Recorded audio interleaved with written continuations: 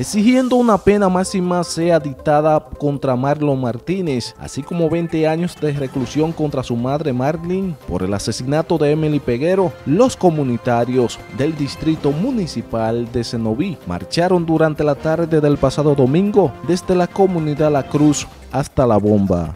Estamos unidos y concentrados en esta horrible muerte que fue a causa de martirio contra esa jovencita. Queremos justicia 20 y 30 y el pueblo y el mundo entero está unido contra eso, que no queremos menos de 20 y 30. Cenoví está presente como el primer día. Nosotros esto no se nos ha olvidado y no se nos olvidará. Nosotros confiamos con la justicia de que se haga justicia. Nosotros exigimos justicia por el caso de Emily Peguero. El próximo miércoles será cuando los jueces den el fallo del juicio que se le lleva a cabo a Marlon y Marlene Martínez. NTN, su noticiero regional, Robinson Polanco.